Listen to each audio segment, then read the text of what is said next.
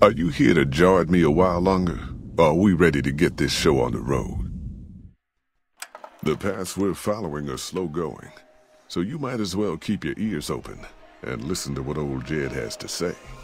A few decades back, folks in the NCR started to hear about a community in northern Utah called New Canaan. Didn't know much about them, except that they were religious folks, sent out missionaries to talk to the tribes.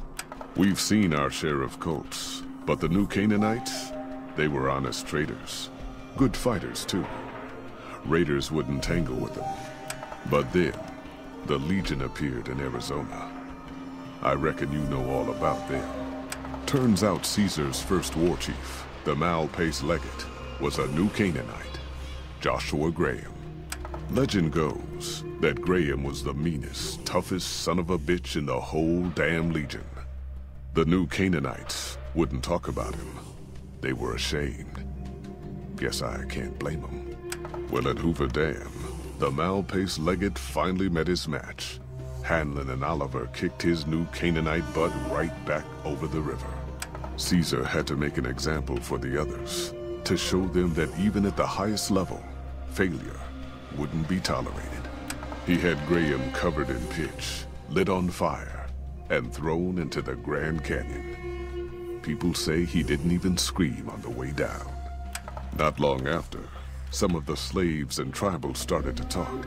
Said Graham wasn't dead. Shouldn't have been any surprise. All this talk bothered Caesar.